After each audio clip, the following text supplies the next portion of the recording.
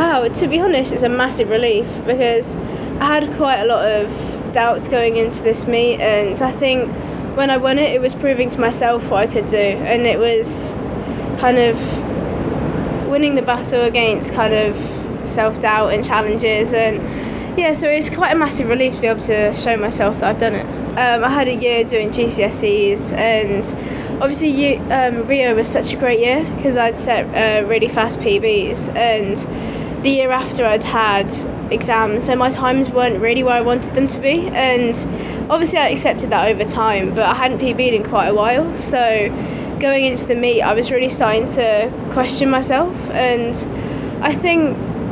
I think I'm quite hard on myself as an athlete, so I'm always going to have those worries. And I think before my race, that was when I kind of decided, like, look, I'm not going to worry anymore, and I'm just going to do the best that I can. I think it was, again, it was just seeing my name and the time and seeing standing on the podium as well. And I think Jerusalem's such an emotional anthem.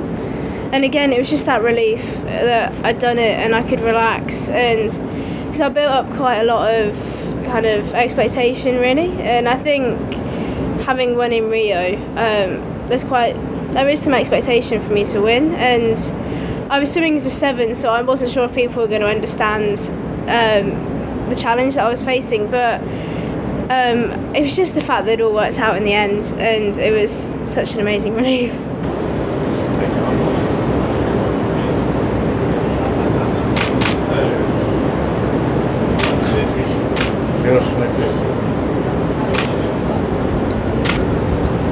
give it another kiss, that's it.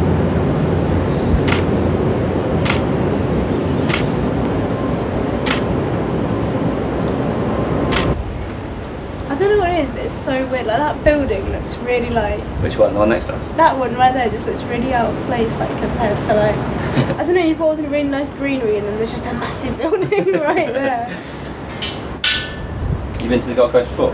No, this is my first time in Australia. Actually. Do you like it? Yeah. Yeah, it's quite surreal, really, because it was something that.